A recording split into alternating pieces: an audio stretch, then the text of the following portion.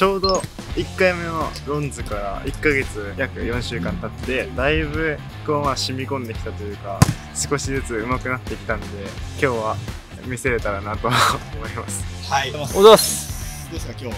今日はいつも通りはい。頑張ります前回の反省点としては頭迷子になった時にやっぱりちょっとく暗くなっちゃうっていうかおとなしくなっちゃったんで今日のテーマは分かんなくてもとにかく明るく楽しく。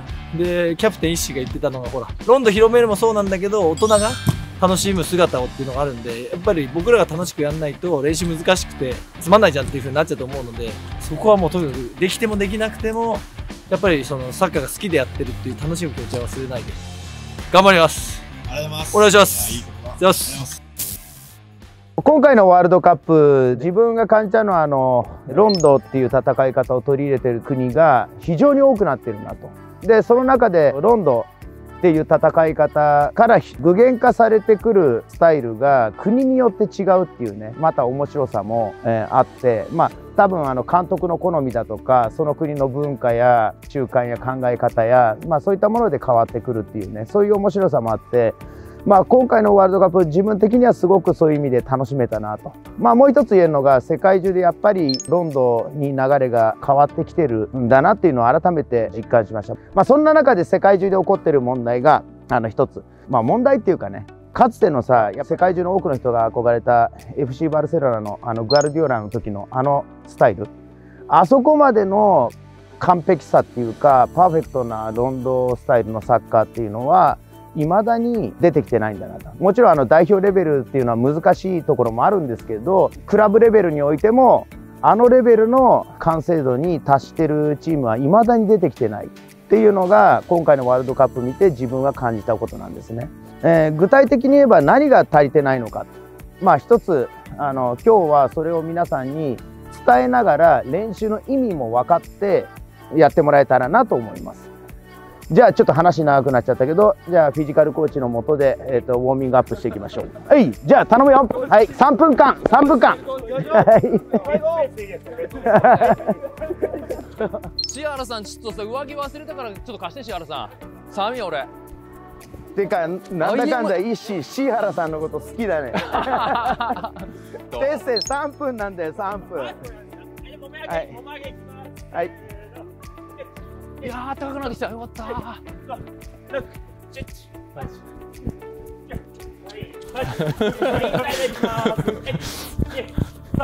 四五六おいパンダ兄弟声出してこ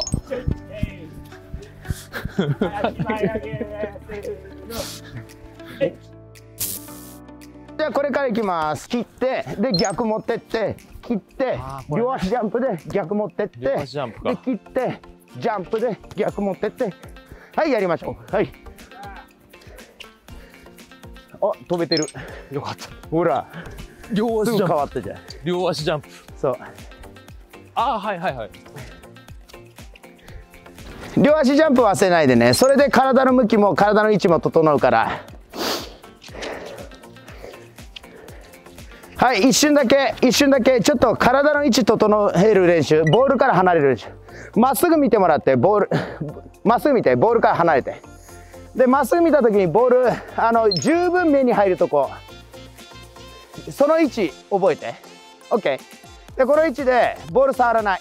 えっ、と、おへそ中心に、ボールをおへそ向けたまんま回る。で、その位置まで離れる。その位置まで離れる。はい、その位置まで離れる。おへそ向けたまんま、ここへおへそ向けたまんま回って、顔を上げて関節視野に入るところまで、はい、ちょっとやりましょう。はい、少しだけ。おへそ向けたまま、ま、回ってね。ボールにおへそ向けたまま。うん、このこの距離感を覚えて。あの一瞬この距離取るっていうのはすごく大事なのね。あの目線上げるために。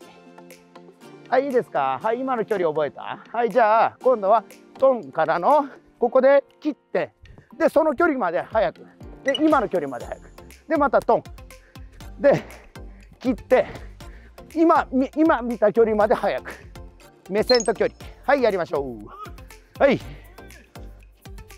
パッと切ってね。さっき関節視野にボール入れた距離まで離れておおま離れられてるねそう関節視野にさっき入れた。そうそうそうまできた。はい石もできた。顔を上げたまんま関節視野に入るとこまで大げさにやってみよう。それが覚えてもらいたい距離。OK ストップ。だいぶ良くなった。あのボールからの距離はもうだいぶもう変わってきた。えっと切るとき切るときちょっとケンケン入れてパッて切ったらもうすぐにこの距離。でステップ見て切った後の切った後にやっぱり飛んでんのよ。両足で。で切った後にこれ飛ばずにこういうステップしちゃうと遅れちゃう。目線上げるのが遅れちゃう。体が起きるのが遅れちゃう。だから両足飛びすることで両足飛びすることで目線って上がってくるんで。あこういう？そうそうそうそうそうその両足飛びで体起きるから。早く体を起こす。両足飛びで。うまい？ありがとう。鉄星先生ありがとう後でリフティング教えてあげる。もう大げさにまずは。そうそうそうそうそれそれそれ。関節視野に入るとこまで大げさに。そう目線上げたまま関節視野入れていく。いい練習の時は大げさにやることがあの重要なポイントになります。実際はね状況を合わせるけど練習の時は大げさ。反発ターンね。反発ターン。これね。ありがとうございます。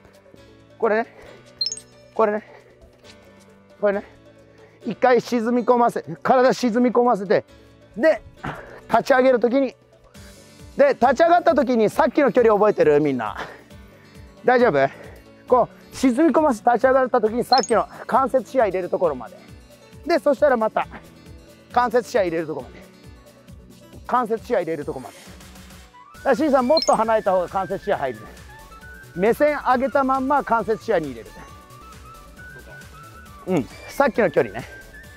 はい OK あのフランス昔フランスの国立サッカーセンターが全盛アンリとか育ったところね。えっ、とこんな顔上げたままこんな練習とか顔上げたままこんな練習とかこんな練習とかこんなねボール触らないで体の位置を変えていく練習っていっぱいやってるそれって同じことだいきます。はい次ははいトントントンからのプッシュか。トントントンからの引くか。軸足が止まる前。OK はいどどっちもやりましょう。この前やってた餅つき。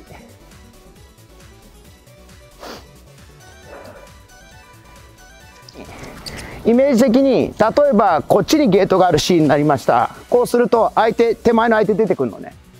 うん。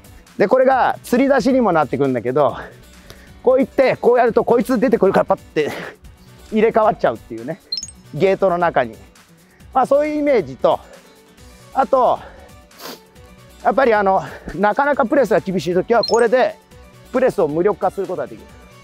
あの腰が起きて、えー、正対することによって正対も止まった正対じゃない。止まった正対っていうのは絶対パワーを受けるからあの基本的には使わない。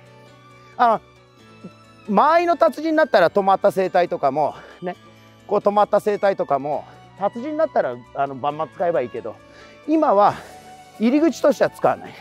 だから距離を取った正対ボールを動かした正対ね。ボールを動かしながら体を向ける。これが大事。OK つくか餅つきのつくか振り上げるか。ね。トントントンでつくか。ね。トントントンで振り上げるか。軸足が止まる前に。でさっきの距離ね。ボールを置く距離。関節視野で見る距離。流した時は関節視野の。そうそうまあ上手すごいできるようになった。はいよし OK はい集合。えっ、とここのゲートの向こう側行ってください。手席てトントントン行こう。いい。あの2を作りながら外から、えーとブロックの外から回り込むっていうね。あのあの練習やる前に実はあのメソッド的には実は最初にこれ入れてるんです。ちょっと見といて。うん。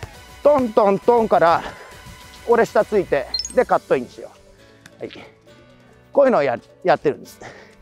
これは簡単ね。この俺とテッセの距離感とあとボールがテッセまで到達してないの分かるかな？2回目のパス。1回目はトントントン。テッセまで到達してないよね。だからで俺はテッセの下ついてるよね。トントントンから腰伸ばしてルックアップ。で俺がこれでトントントン。で後ろついて。あオマできた。オマ上手。オマ今一番上手。うん今みたいな感じあやっぱやっぱて撤回今の撤回 調子乗るから。はいよしオッケーシ原さんちょっとさ上着忘れたからちょっと貸してシ原さん。てかなんだかんだいいしシ原さんのこと好きだね ここへおへそを向けたまま回って顔を上げて関節視野に入るところまで。はいちょっとやりましょう。早く体を起こす両足跳びで。うまい。ありがとう。天生先生ありがとう。後でリフティング教えてあげる。こんな顔上げたままこんな練習とか体の位置を変えていく練習っていっぱいやってる。それって同じことだ。お前今一番上手。うん今みたいな感じあやっぱやっぱ撤回今の撤回 調子乗るから。